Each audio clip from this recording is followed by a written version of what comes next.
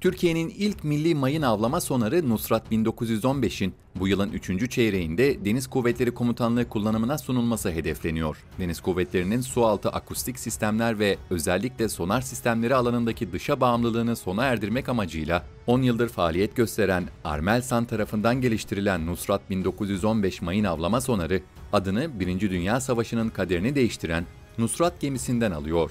Yerli ve milli olarak geliştirilen Nusrat 1915, dip mayını yaklaşık 1 kilometre mesafeden tespit edebiliyor ve 250 metreden sınıflandırma yapabiliyor.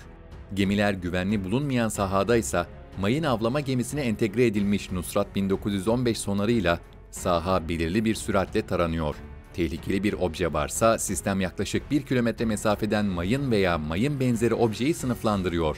Sonrasında yüksek frekansa geçerek yaklaşık 250 metre mesafeden bunun net sonucunu söylüyor.